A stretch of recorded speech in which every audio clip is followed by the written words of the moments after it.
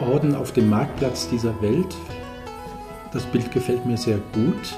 Ich mag Märkte, sehr bunt, sehr vielfältig, sehr verlockend, viele Düfte, viel Buntheit, da trifft sich die ganze Welt in ihrer ganzen Vielfalt.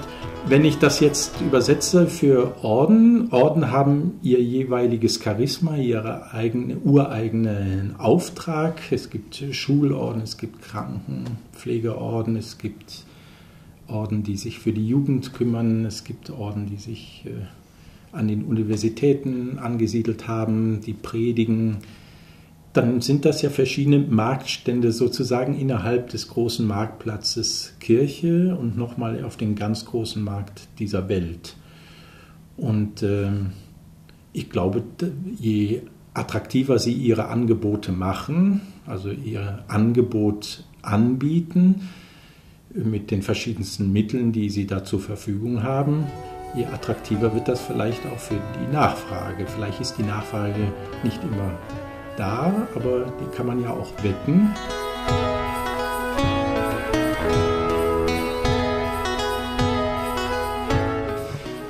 Also was gibt es auf dem meinem Marktstand?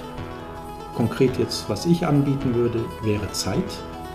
Es ist eine große Nachfrage nach Zeit und immer weniger Menschen haben die für andere. Und ich glaube, Ordensleute könnten sich diesen Luxus leisten, äh, dieses Angebot zu steigern, für Menschen Zeit zu haben. Das andere ist Wertschätzung und Achtung.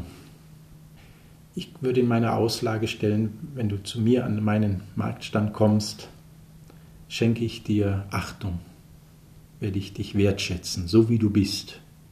Das egal, ob du Mann oder Frau bist, ob du schwul bist oder heterosexuell, ob du Afrikaner bist oder Asiat, äh, du bist von Gott geliebt, du bist angenommen und du hast eine Würde.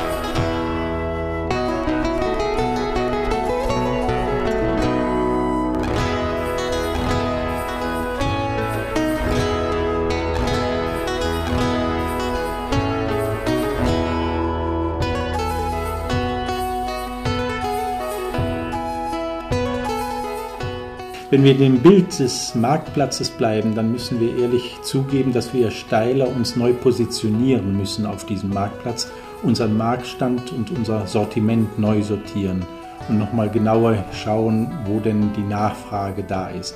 Traditionell war unser Angebot Schulen hier in Deutschland, große Schulen mit Internaten. traditionell hatten wir sehr viele Pfarrgemeinden, wir hatten Bildungshäuser, wir hatten eben unsere Hochschulen und Institute. Ich glaube, dass in Zukunft die Nachfrage in andere Richtungen geht und dass wir vielleicht auch unseren Stand der Nachfrage anpassen müssen. Also wir müssen vielleicht einen Bauchladen haben statt einen fixen Stand und unter die Menschenmenge gehen und äh, viel mehr eben näher, volksnäher sein und äh, den Kontakt zu den Menschen suchen, ihre Nöte, also in Berührung kommen, zum Beispiel mit Jugendlichen. Die Frage ist in der Verkündigung die, das äh, Thema Weltkirche noch viel mehr präsent zu machen, Interkulturalität, ähm, ganze Fragen nach, nach äh, Miteinanderleben. Da sind wir, glaube ich, eher in einer, einer Suchbewegung, als dass wir jetzt schon wissen, wie unser Marktstand in Zukunft aussieht. Es wird mir schon manchmal schwindelig, wenn ich sehe, wie sehr wir noch verhaftet sind in dem Traditionellen, wie schwer wir uns tun, das Sortiment zu ändern, weil doch viel Angst da ist, dass wir Ausverkauf haben. Wir haben Angst, dass der Nachschub nicht kommt, einfach dadurch, dass wir auch nicht mehr viele junge Mitbrüder haben. Ähm, also das kann auch bange machen. Aber es gibt auch Zeichen, die mir Mut machen. Es gibt einzelne Mitbrüder, die für mich Vorbild sind, die in diese Richtung gehen können. Und schließlich dürfen wir ja, den, den, äh, Arbeitgeber nicht vergessen, ja? der, der uns diese Mission, diesen Marktplatz anvertraut hat. Der hat es bis jetzt 2000 Jahre geschafft, diesen Marktplatz zu halten, 140 Jahre mit Steilern. Und insofern glaube ich, dass der auch dafür sorgen wird, dass es irgendwie weitergehen wird. Darauf möchte ich vertrauen.